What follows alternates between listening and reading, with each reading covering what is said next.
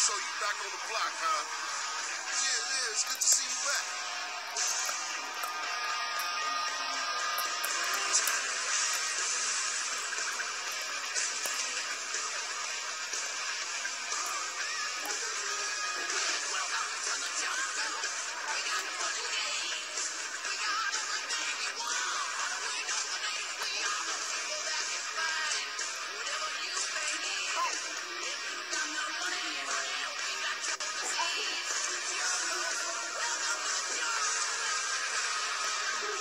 Theft Auto, San Andreas, coming October 26th.